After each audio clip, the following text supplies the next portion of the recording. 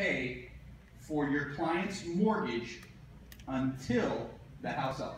Come on, anybody? Nobody's willing to do that, right? That's what rent to own does.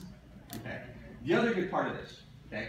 How many of you, when you have a listing and it's not selling, what's the first thing we do?